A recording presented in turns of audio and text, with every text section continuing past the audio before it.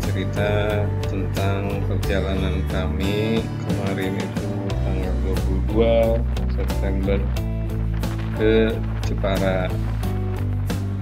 Nah, kami berangkat dari Jogja itu pukul 5.30 pagi. Cuaca cukup baik, perjalanan pun lancar tanpa ada kendala yang berarti kecuali di daerah Demak ya karena memang sampai dengan saat itu masih berlangsung perbaikan jembatan. Adapun maksud kami datang ke Jepara yaitu untuk mengecek pesanan yang kami punya di sana salah satu supplier kami yaitu papan surfing tapi bukan papan surfing yang memang fungsinya untuk dipakai di pantai ya bukan. Ini papan surfing untuk pajangan di tembok. Jadi kami punya orderan. Sebetulnya bukan orderan sih. Jadi ini um, kompensasi. Jadi sebelumnya kami mendapatkan problem mengirimkan banyak sekali papan surfing dengan bahan baku kayu mangga dan mahoni tapi sampai di sana banyak masalah. Jadi kami mencoba cara lain kami produksi dengan menggunakan kayu jati. Nah untuk menghindari problem yang sama karena itu kami ingin memastikan bahwa materialnya sudah cukup baik untuk dilanjutkan ke proses berikutnya. Jadi di Jepara ini saya hanya mengecek persiapan barang setengah jadi ya. Yang nantinya kalau kita cek sudah oke okay, kita akan kirimkan papan tersebut ke tempat finishing di tempat lain oke okay, perjalanan juga kita sempat rehat sejenak sebuah rest area di Jalan Tol Semarang Jogja. Dengan view yang menakjubkan. Di belakangnya kita bisa melihat gunung merbabu yang begitu megah dan gagah. Bisa terlihat dengan jelas jika cuaca mendukung dan perjalanan pun kita lanjutkan setelah kami rehat sejenak dan kami akhirnya tiba di Jepara sekitar pukul 11 lebih Oh iya, saya pergi ke Jepara bersama dua rekan saya, yaitu Nanda dan juga Bandung. Jadi kami pergi bertiga dari Jogja. Nanti kami bertiga akan mengecek satu persatu bahkan yang katanya sudah selesai di supplier. Jadi kita sebelum mengambil kita mengecek dulu. Memastikan semuanya sudah sesuai dengan spek yang kita berikan ke supplier. Nah ini dia ya kita sudah mulai memasuki Jepara. Ini ciri khasnya Jepara ya banyak masjid-masjid besar. Dan ini juga terkenal Jepara Bumi Kartini. Nah, di sinilah Kartini lahir dan dibesarkan pahlawan kita ya pejuang perempuan. Nih kita juga melihat ada monumen tiga pahlawan wanita nah inilah ciri khas di Jepara ya kayu di mana-mana panjang sejauh mata memandang kayu di mana-mana. Memang Jepara ini mengandalkan sentra industri mebel ya dan kerajinan terutama yang berbahan kayu.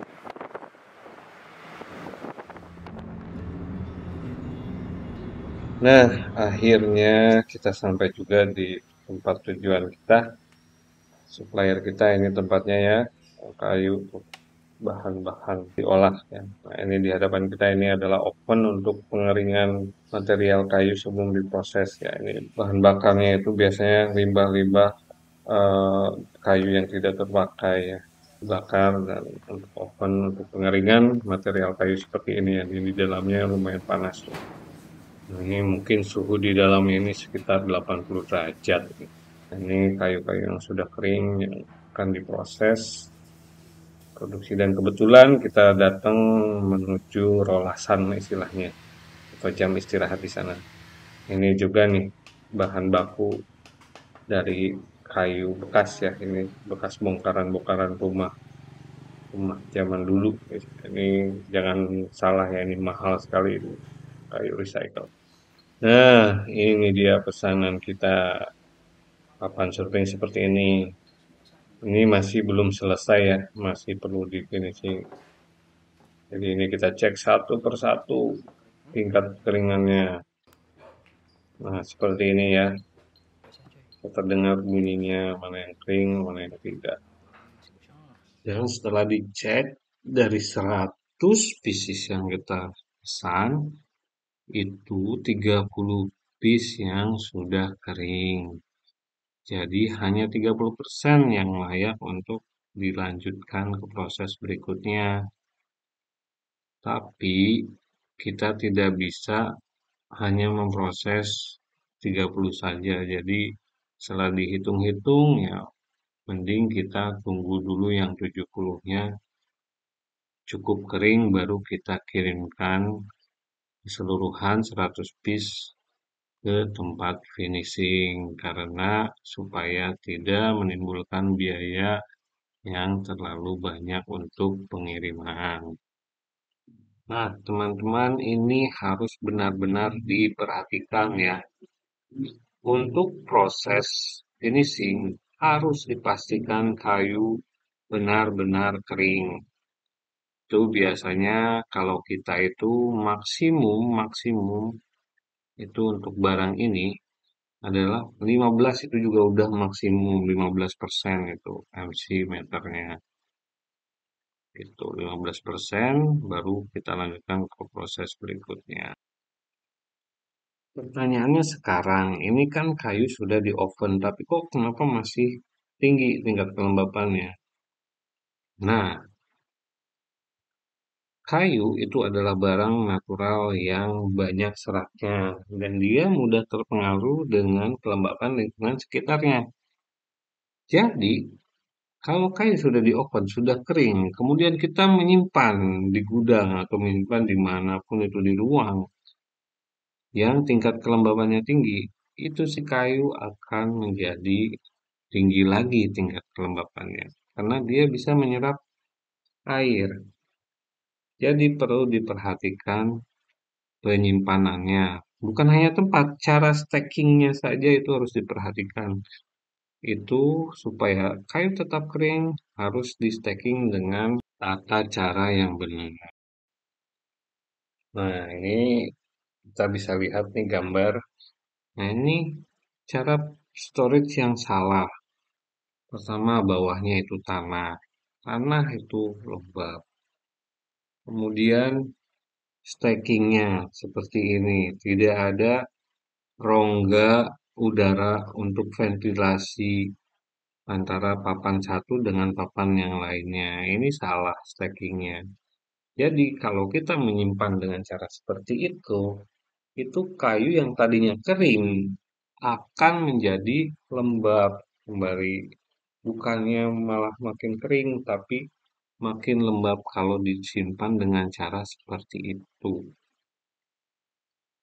Ya, teman-teman bisa sambil melihat ya ini proses yang ada di sini, macam-macam barang diproduksi di sini dari kayu ya. Ya, singkat cerita dari hasil pengecekan barang yang kami pesan ternyata masih banyak yang belum kering.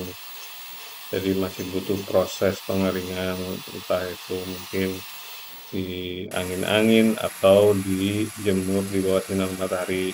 Karena kalau barang sudah jadi seperti itu, kemudian ditaruh di oven ya terlalu beresiko nantinya mungkin bisa akan pecah kayunya banyak atau bisa juga melengkung dan sebagainya mungkin ya kita cara konvensional lebih aman kita jemur di bawah sinar matahari dan nanti saya akan kembali lagi ke sini dua minggu yang akan datang untuk mengecek lagi.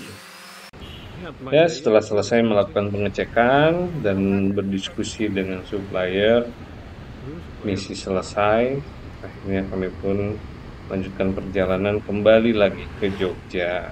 Dan sebelum pulang kami sempatkan keliling-keliling dulu di area sekitaran utara untuk melihat-lihat situasi terkini. Dan yang lucunya itu si Nanda dia udah beberapa kali ke Jepara. Tapi dia belum pernah mengunjungi tempat ini. Ini adalah salah satu sentra industri ya. Daerahnya itu terkenal di sini daerah Paving atau daerah Mulyo Harjo ya. Sini banyak sekali ya toko-toko mebel dan kerajinan dengan kualitas yang bagus ya. Ya tak terasa waktu pun sudah malam. Kami tetap harus melanjutkan perjalanan kembali ke Jogja. Karena besok masih hari kerja belum libur besok hari Jumat. Masih masuk guys. Nah kami pun uh, perlahan tapi pasti. Yang penting selamat ya. Kita sampai di Jogja itu kembali ke rumah sekitar pukul satu dini hari Nah, itu dulu teman-teman yang ingin saya sharing di video kali ini. Semoga video ini bermanfaat bagi kalian ya. Dan maaf jika banyak kekurangan dan kesalahan dalam penyajian visualisasi ataupun dari sisi narasi karena ya kami masih belajar kami bermaksud hanya ingin berbagi cerita tentang seluk-beluk dunia yang kami jalani sekarang ini yaitu dunia mebel dan handicraft. Misi kami tetap yaitu akan mempromosikan UMKM UMKM lokal di Indonesia, home industry, para pengrajin-pengrajin rumahan untuk menembus pasar luar negeri sehingga dapat menumbuhkan ekonomi terutama di desa-desa. Oke, teman-teman, sekian saja dari kami. Semoga bermanfaat dan tetap semangat. Salam ekspor.